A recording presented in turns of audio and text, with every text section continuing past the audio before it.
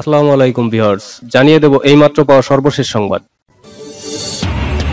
আইন শৃঙ্খলা বলতে কিচ্ছু নেই, এমন দেশ তো চাইনি, বললেন মির্জা ফখরুল। এরপরে জানিয়ে দেব নির্বাচন কমিশনের ওপর মানুষের আস্থা এখন শূন্যের কোঠায়, দাবি জিএম কাদেরের এদিকে বাঙালিত্ব বিনষ্ট করা মুক্তিযুদ্ধের চেতনা নয়, মন্তব্য আসম আব্দুর রবের। জানিয়ে দেব, ঝিনাইদহ আদালতে মালখানায় বিস্ফোরণ নিহত এক। এবং কথিত মডেল পিয়াসা ফের দুই দিনের রিমান্ডে। শুনছিলেন সংবাদ শিরোনাম, এখন বিস্তারিত। তবে তার আগে অনুরোধ থাকবে, ভিডিওটিতে একটি লাইক দেওয়ার জন্য এবং কমেন্টস করে জানিয়ে দিন আমাদের সংবাদ সম্পর্কে আপনাদের মূল্যবান মতামত। আওয়ামী লীগ দেশের জনগণের সবচেয়ে বড় শত্রু। ওলামা দলের প্রতিষ্ঠা বার্ষিকী উপলক্ষে আলোচনা সভায় বললেন মির্জা ফখরুল। বিএনপি মহাসচিব মির্জা ফখরুল ইসলাম আলমগীর বলেছেন, ক্ষমতাসীন আওয়ামী লীগ আজকে বাংলাদেশকে যে রাষ্ট্রে পরিণত করেছে, এটি আমাদের রাষ্ট্র নয়। আওয়ামী লীগ আজকে দেশের জনগণের সবচেয়ে বড় শত্রুতে পরিণত হয়েছে। তিনি বলেন, আমাদের মূল লক্ষ্য ছিল আমরা চমৎকার একটা রাষ্ট্র গঠন করব যে রাষ্ট্রে মানুষের অধিকার থাকবে, যে রাষ্ট্রে মানুষ কথা বলতে পারবে, স্বাধীন সংবাদ মাধ্যম থাকবে।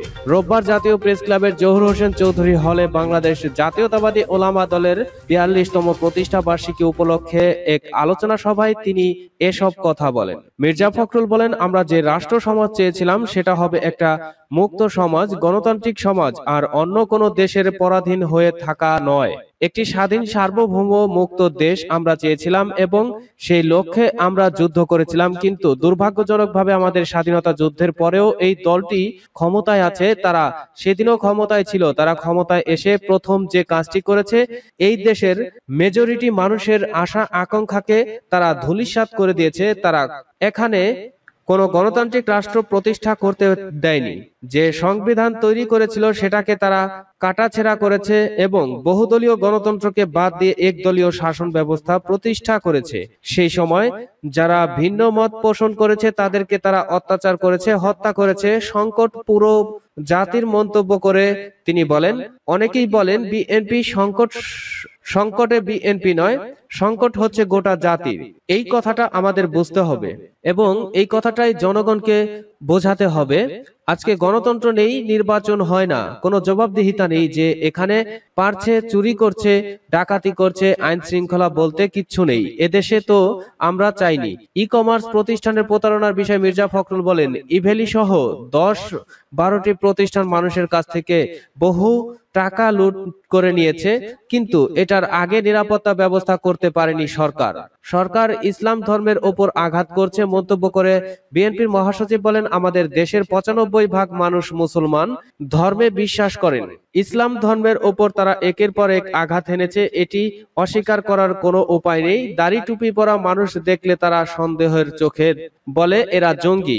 এই জঙ্গি হিসেবে কত জনকে তারা হয়রানি করেছে তার হিসাব নেই। পশ্চিমা বিশ্বে সহানুভূতি পাওয়ার জন্য তারা কাজটা করছে। তিনি আরও বলেন, শহীদ প্রেসিডেন্ট জিয়াউর রহমান সাহেব সংবিধান বিসমিল্লা রহমানির রাহিম যোগ করেছিলেন। তিনি কাজটি করেছিলেন কারণ শতকরা পঁচানব্বই ভাগ মানুষের যে ধর্ম বিশ্বাস, সেটিকে মর্যাদা দেওয়ার জন্য। কিন্তু এরা সরকার খোদবা পর্যন্ত নিয়ন্ত্রণ করার চেষ্টা করছে। আওয়ামী লীগের হাতে কোনো ধর্মই আজ নিরাপদ নয়। আজকের বাস্তবতা হচ্ছে, এদের কাছ থেকে আমাদের মুক্তি পেতে হবে।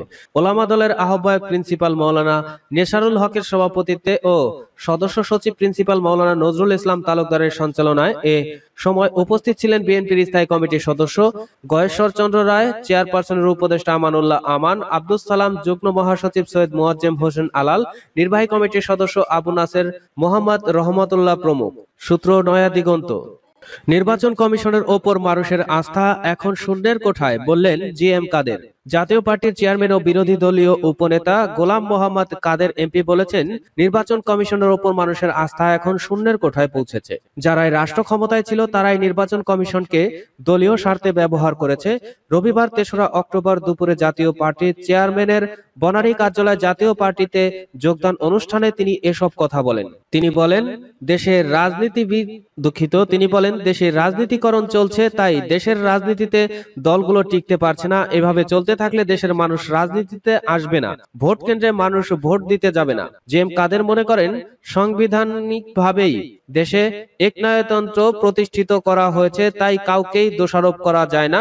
সংবিধান অনুযায়ী দেশের নির্বাহী বিভাগ, আইনসভা ও বিচার বিভাগের প্রায় নব্বই ভাগই রাষ্ট্রপতির মাধ্যমে এক ব্যক্তির হাতে। তাই বর্তমান সরকার ব্যবস্থাকে কোনোভাবেই গণতান্ত্রিক বলা যায় না। তিনি আরও বলেন, দেশের মানুষ আবারও জাতীয় পার্টিকে রাষ্ট্র ক্ষমতায় দেখতে চায়। দেশের মানুষ জাতীয় পার্টির দিকে এক বুক প্রত্যাশা নিয়ে তাকিয়ে আছে। জাতীয় পার্টিকে নিয়ে স্বপ্ন দেখছেন। এ কারণেই প্রতিদিন সমাজের বিশিষ্ট ব্যক্তিরা জাতীয় পার্টির পতাকা তলে সামিল হচ্ছেন। সূত্র ইত্তেফাক। বাঙালিত্ব বিনষ্ট করা মুক্তিযুদ্ধের চেতনা নয় বললেন আসম আব্দুর রব। জাতীয় সমাজতান্ত্রিক দল জেএসডি সভাপতি আসম আব্দুর রব বলেছেন, বাঙালিকে জ্ঞান, বিজ্ঞান, সাহিত্য, সংস্কৃতি ও রাষ্ট্র পরিচালনার বহুমুখী কর্মে সম্পৃক্ত করে বাঙালি জাতীয়তাবাদকে উচ্চতর পর্যায়ে নিয়ে যাবার পরিকল্পনা গ্রহণ না করে রাজনৈতিক অধিকারহীন করে দুর্নীতি ও অপশাসনে সম্পৃক্ত করে বাঙালিত্বকে বিনষ্ট করা হচ্ছে, যা কোনো ক্রমেই মুক্তিযুদ্ধের চেতনার সাথে সঙ্গতিপূর্ণ নয়। বাঙালিত্বকে বিনষ্ট করা হবে জাতির ধ্বংসের সামিল। আসম আব্দুর রবের উত্তরস্থ বাসভবনে অনুষ্ঠিত জিএসডি স্থায়ী কমিটির সভায় তিনি এ কথা বলেন। এ সময় দেশের সর্বশেষ রাজনৈতিক, অর্থনৈতিক ও ভূ আঞ্চলিক পরিস্থিতি নিয়ে বিস্তারিত আলোচনা হয়। সবাই আসম আব্দুর রব বলেন মুক্তিযুদ্ধের লক্ষ্য ছিল স্বাধীনতার মাধ্যমে বাঙালি জাতীয়তাবাদকে সাংস্কৃতিক ও অর্থনৈতিক বিকাশের মাধ্যমে জাতিকে উচ্চতর করা এবং সাম্য মানবিক মর্যাদা ও সামাজিক সুবিচার নিশ্চিত করা ভোটারবিহীন নির্বাচন দুর্নীতির অবারিত সুযোগ এবং যে কোনো উপায়ে অর্থ সম্পদ আহরণের অশুভ দুর্বৃত্তপূর্ণ সংস্কৃতির জন্ম দিয়ে বাঙালির উত্থানকে ধ্বংসের দিকে ঠেলে দেওয়া হচ্ছে। শাসকগণ উন্নয়ন স্লোগানের আড়ালে বাঙালি জাতীয়তাবাদ বোধকে নিঃস্ব করে জাতির নৈতিক শক্তিকে ধ্বংস করে দিচ্ছে। এখন আমাদের একমাত্র পথ হচ্ছে জাতীয় জাগরণের মাধ্যমে বাঙালি জাতীয়তাবাদের বিকাশকে নিশ্চিত করা। তৃতীয় জাগরণের মাধ্যমে অর্থনৈতিক প্রবৃদ্ধি এবং সাংস্কৃতিক বিকাশ নিশ্চিত হবে এবং বাংলাদেশ দক্ষিণ ও দক্ষিণ পূর্ব অঞ্চলে একটি আঞ্চলিক শক্তি হিসেবে গড়ে উঠবে। সূত্র বিডি প্রতিদিন। জয়দাহ আদালতের মালখানায় বিস্ফোরণ নিহত এক। ঝিনাইদহের চিফ জুডিশিয়াল ম্যাজিস্ট্রেট আদালতের মালখানায় বিস্ফোরণে একজন নিহত হয়েছেন। নিহতের নাম শফিক বলে জানা গেছে। এ সময় আরও দুইজন আহত হয়েছেন। রোববার তেসরা অক্টোবর দুপুর একটার দিকে এই বিস্ফোরণের ঘটনা ঘটে। ঝিনাইদহ সদর থানার ভারপ্রাপ্ত কর্মকর্তা ওসি শেখ মোহাম্মদ সোহেল রানা বলেন খবর পেয়ে ফায়ার সার্ভিস ও পুলিশ সদস্যরা ঘটনাস্থলে এসে আহতদের উদ্ধার করে সদর হাসপাতালে পাঠায় এদের মধ্যে একজনকে চিকিৎসক মৃত ঘোষণা করেন বাকিদের চিকিৎসা দেওয়া হচ্ছে। আহতদের নাম পরিচয় এখনও জানা যায়নি। ঝিনাইদহ জেলা পিপি অ্যাডভোকেট ইসমাইল হোসেন জানান বিস্ফোরণের একটা বিকট শব্দ শুনে আমরা ছুটে আসি এসে দেখি মালখানার ঘরটি পুরোপুরি তছনছ হয়ে গেছে। ফায়ার সার্ভিসের খবর দেওয়ার পর ওরা এসে তিনজনকে উদ্ধার করে, একজনের অবস্থা খুব খারাপ, সবাইকে উদ্ধার করে সদর হাসপাতালে পাঠানো হয়েছে। তিনি আরও জানান, ভেতরে গত কয়েকদিন ধরে সংস্কারের কাজ চলছে, মিস্ত্রিরা কাজ করছিল। মিস্ত্রিদের কোনো ধরনের পরিষ্কার পরিচ্ছন্ন মেশিনের কারণে এ বিস্ফোরণ হতে পারে বলে ধারণা করা হচ্ছে। সূত্র যমুনা নিউজ। কথিত মডেল পিয়াসা, ফের দুই দিনের রিমান্ডে। ঢাকার গুলশানে একটি বিলাসবহুল ফ্ল্যাট থেকে কলেজ ছাত্রী মোশারত জাহান মুনিয়াকে ধর্ষণের পর হত্যা মামলায় কথিত মডেল ফারিহা মাহবুব পিয়াসা দুই দিনের রিমান্ড মঞ্জুর করেছেন আদালত। রোববার ঢাকা মহানগর হাকিম নিভানা খায়ের জেসি এই চাঞ্চল্যকর মামলার শুনানি শেষে এ রিমান্ড মঞ্জুর করেন। পিয়াসাকে এদিন ঢাকা মহানগর হাকিম আদালতে হাজির করে পুলিশ। এরপর এ মামলায় তাকে গ্রেপ্তার দেখানো প্রবক সাত দিনের রিমান্ডে নিতে আবেদন করা হয়। অন্যদিকে তার আইনজীবী রিমান্ড বাতিল চেয়ে জামিনের আবেদন করেন। উভয় পক্ষের শুনানি শেষে বিচারক পিয়াসাকে গ্রেপ্তার দেখানোর আবেদন মঞ্জুর করেন।